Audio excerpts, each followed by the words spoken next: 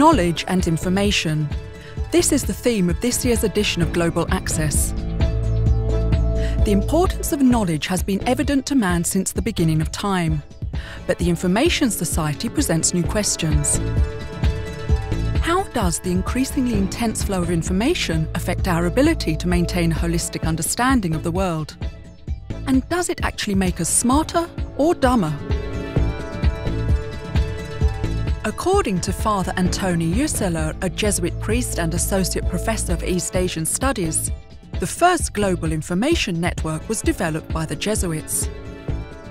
In this conversation with Thomas Gür, Ucerler explains how it came about in the 16th century. The European expansion was also an expansion of knowledge through networks, and uh, one of the most important networks created during the 16th century was actually by the Society of Jesus, the Jesuits. How come that they um, initiated such a global knowledge network and expansion as they did? I think that they didn't initially plan it that way. Um, when Ignatius of Loyola, the founder, and his first companions, about 10 of them, um, decided uh, that they would um, somehow put themselves at the service of the Roman Catholic Church, their first idea was to go to Jerusalem and to engage in missionary work there.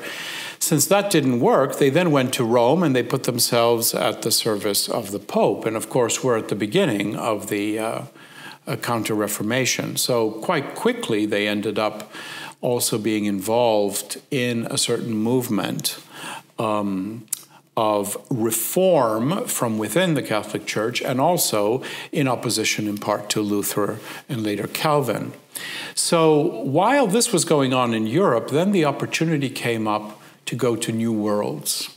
And of course, this happened thanks to the division of the world, basically like an orange into two, uh, by Pope Alexander VI Borgia, who uh, allowed the Portuguese and the Spanish to explore both the East and the West. So um, uh, there was this line beyond um, a certain island in the Atlantic, and everything to the west of that line was to be explored by Spain, and everything to the east by the Portuguese. And so the um, Society of Jesus decided well, we have to be on those ships. We have to explore new areas. And that's how they first went to Latin America and to Asia. Was that uh, by, uh, by, Christian missionary zeal, or was it in general thirst of knowledge, or wh it was, was a missionary purpose? Yeah. Yes. So with uh, the idea of uh, new places to explore came the idea that these are new opportunities uh, for missionary work.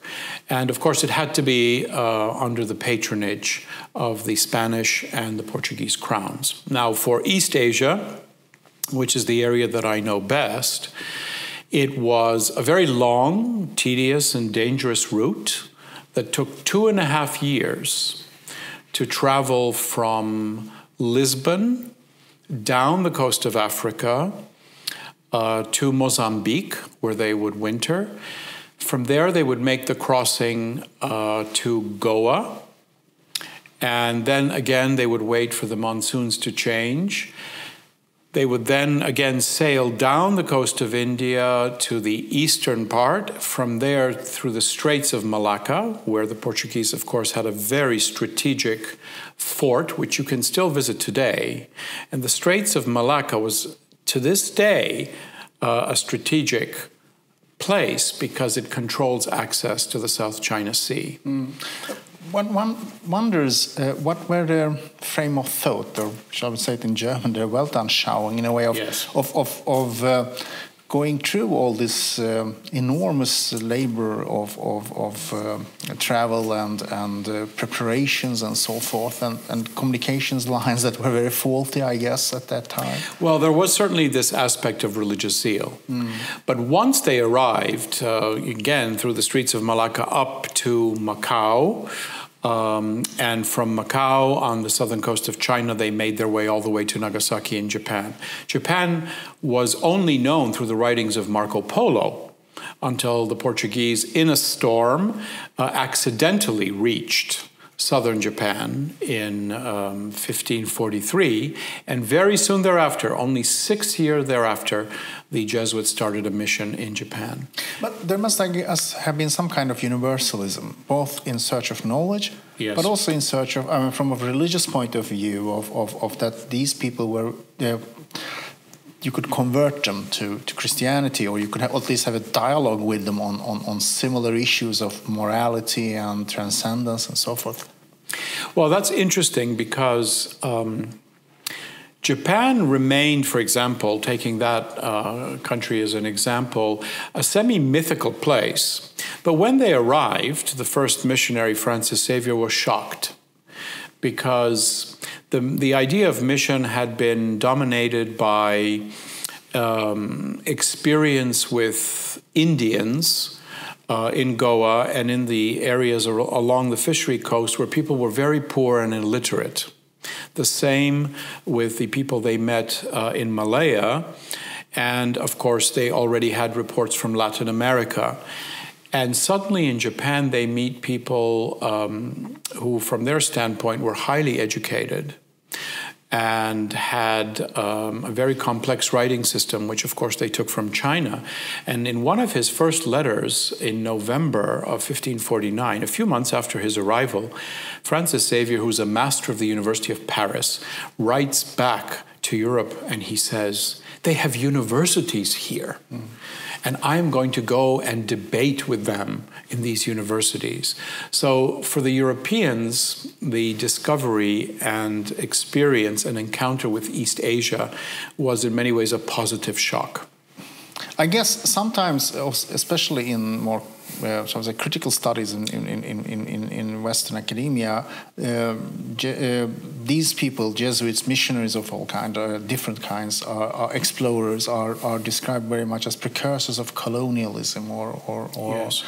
Uh, did they have such an idea of, of, of also being uh, contributing to creating empire, the empires of, of, of Portuguese Empire, the Spanish Empire? I have to admit, uh, this is a complex question because the group of missionaries that went to Asia came from different countries. Though from the very beginning they were an international group. Even, they were, even though they were under the patronage of Portugal, on those ships you also had Jesuit missionaries from Spain, uh, from Italy, um, and from a number of other countries as well. So, certainly, uh, the missionaries as a group did not have this idea of conquest or being part of this. There were some Spaniards, there were some Portuguese who may have thought that this could be possibly um, a way to think about future conquest. But soon they discovered as they write in their descriptions, the warlike samurai of Japan and the nature of this country would make it absolutely impossible, in fact, unthinkable, for Europe to even attempt such a thing at a secular level. And so we have to engage with them in some sort of meaningful dialogue. Mm. And then there was an enormous transfer of knowledge back to Europe from all these yes. missionaries. They I think they wrote continuously. They wrote reports and letters and and uh, yes. uh, and everything amassed in a way in in, in Rome. Yes, it did. Uh, it wasn't only Rome, but certainly Rome was the first uh, destination of these letters. And it had to do with a very complex system of correspondence that the Jesuits created in order to maintain some sort of unity, because it was a small group that was dispersed all over the world. And so they were instructed to write back at least once a year. And so they did. And there were personal letters uh, and correspondence, there were reports the beginnings of ethnographic treatises, maps, drawings um, of the people. Um, and these reports and correspondence were often sent on more than one ship. Mm, they were uh, redundancy in a way, though. I think they would exactly. wrote three reports at a time in order. If That's right. Of, yes. So they would they would often um, write uh, more than one report in the hope that at least one of the three ships would not sink. And so, if you look uh, at the collections in the Roman archives, you see that sometimes you have it. Um, you have one uh, letter that has survived, uh, two letters, or all three. And on the letters, it says uh, in Spanish or in Portuguese, primera via, segunda via, tercera via. Um, and if we have only the tercera via, the third uh, copy, then we know that the first two were lost. Mm. What was behind this thirst of knowledge? In a way, I mean, I mean, other other nations sent emissaries to to to Europe, for example, so in order to gather information. But this um, a, ma massive collection, systematic, massive collection of knowledge in that sense? Is it what was the what was the reason behind it? Well, that is a, curious question. Um, certainly, the zeal for conversion and bringing the Christian faith to Asia is one motivation. But um, on the other hand, I think there is that indomitable human spirit of curiosity. And um, as they learned the languages, Japanese and Chinese, uh, and they realized that these are ancient civilizations, one of their first uh, interesting comments in these letters is We have discovered a new ancient Rome and ancient Greece, ancient Japan and ancient China. And just like uh, Roman culture, in some way, was heavily influenced by an older culture, which was ancient Greece. So, too, Japan, with its ancient civilization, takes its writing system and much of its culture from ancient China.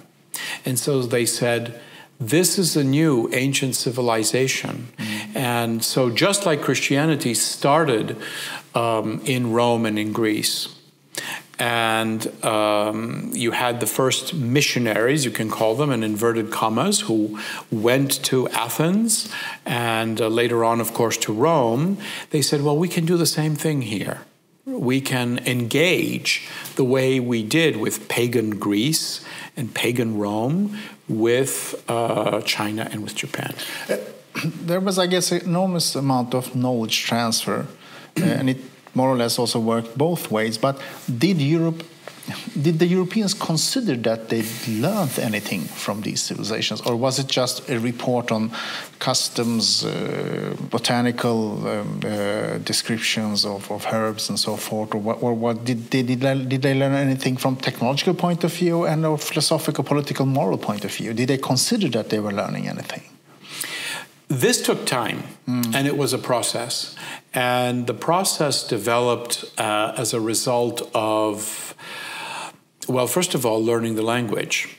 Because obviously, with Japan and China, the language barrier is so high that if you don't know the language, you don't know the culture. And if you don't know the language, you cannot read uh, the, either the Buddhist literature or the secular literature or the histories.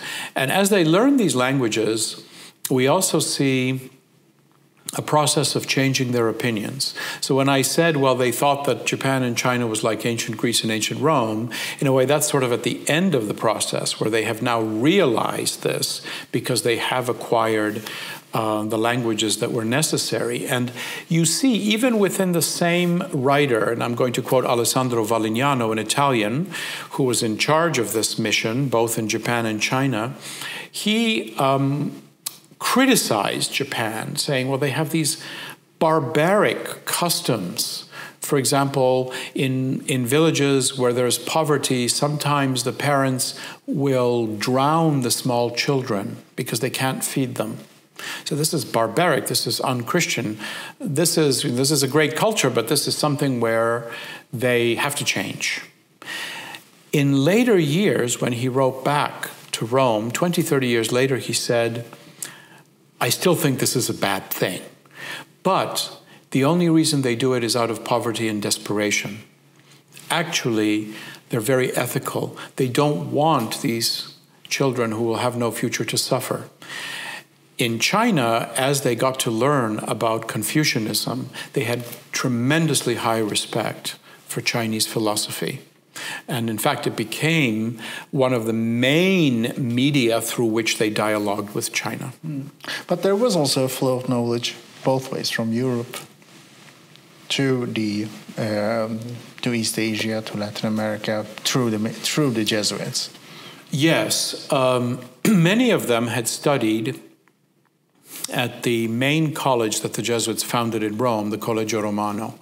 And there you had uh, famous scientific figures like uh, Clavius, who was a great uh, mathematician, and he was, in fact, an interlocutor and uh, you could say partner of debate with Galileo.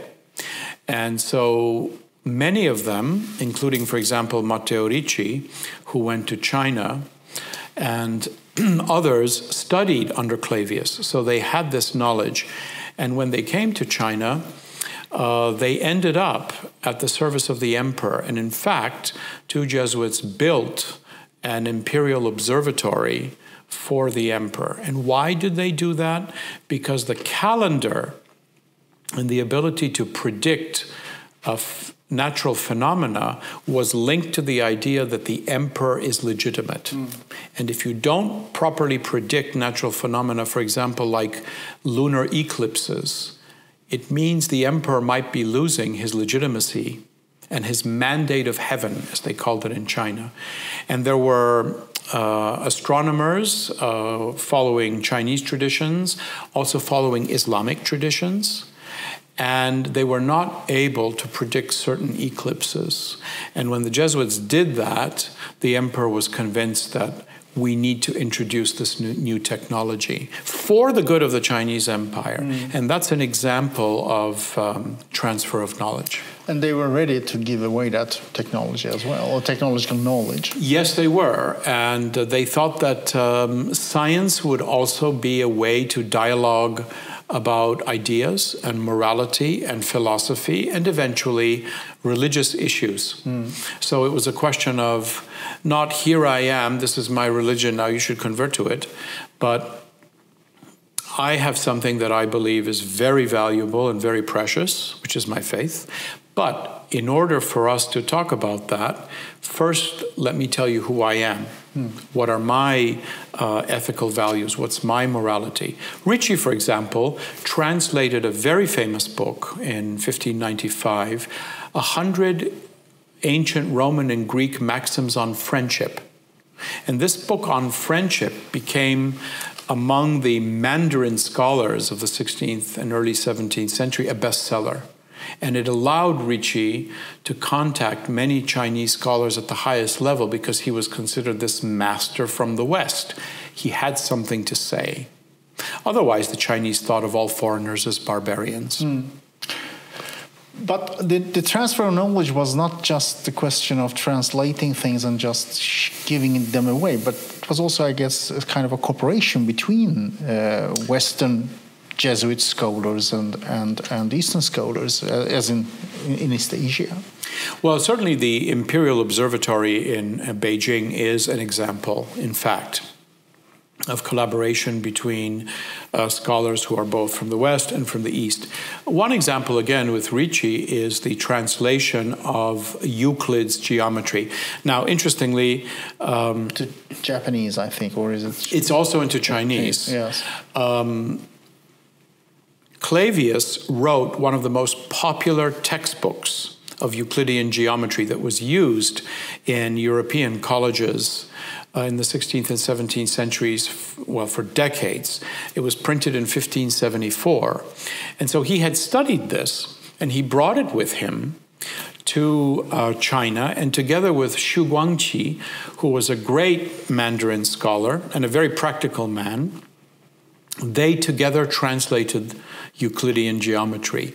And in fact, in the preface, it says, Master Li, that was his name in Chinese, Li Ma Dou, Master Li dictated uh, the translation that he was offering of uh, the Euclidean text, and Master Xu, the Chinese scholar, wrote it down.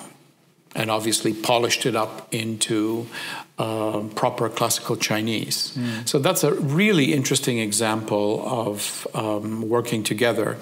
Matteo Ricci also brought Abraham Ortelius's famous uh, atlas uh, of 1570 uh, in a later edition, probably from the 1580s and 90s. It was reprinted in Europe many times.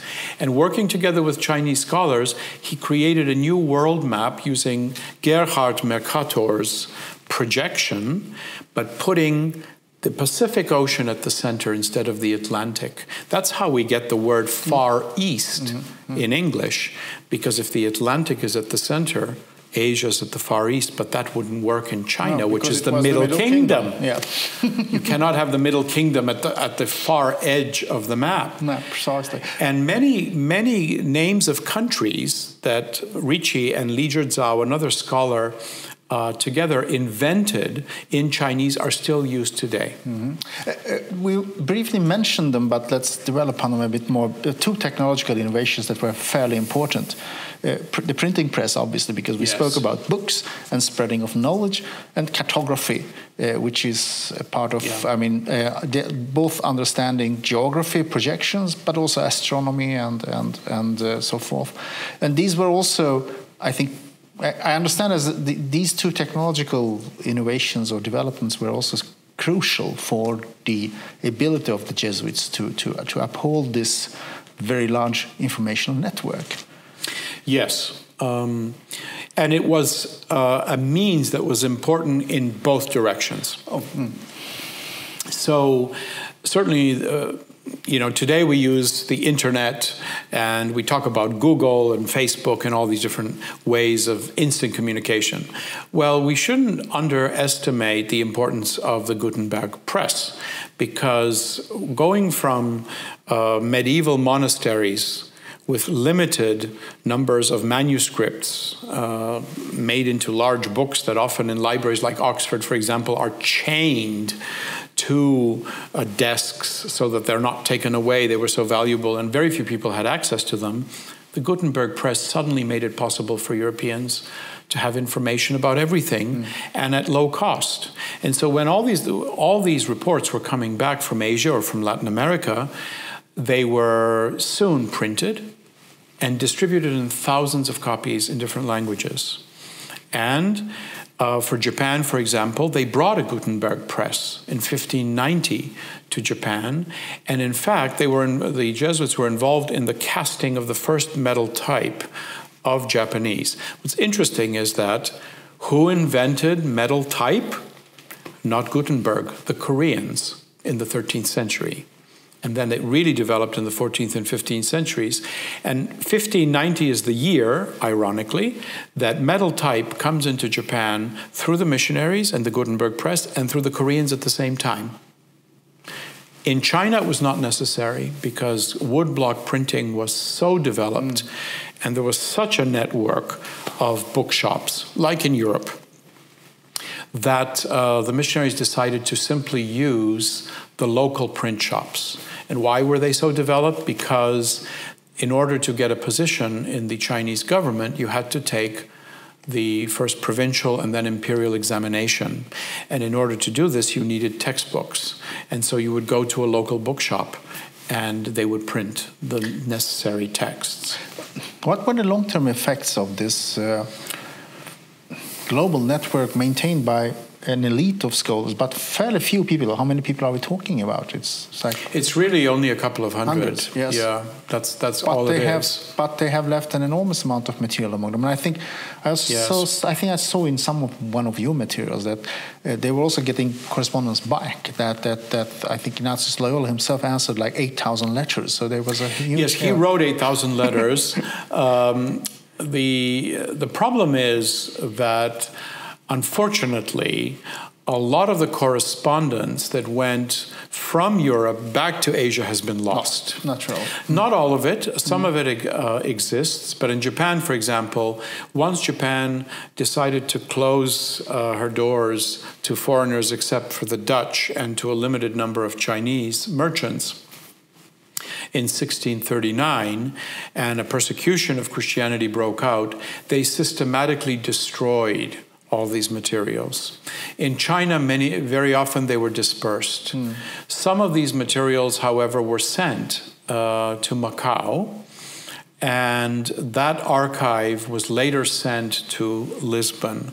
So, thanks to that, and thanks to some archives in Manila then being sent back to the authorities in Madrid, we have some material. Mm.